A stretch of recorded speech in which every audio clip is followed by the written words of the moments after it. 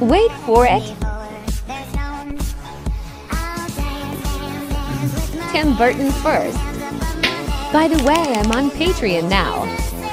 And I already dropped final art there. Both color version and coloring page. So you can print it any size. Does it look like her?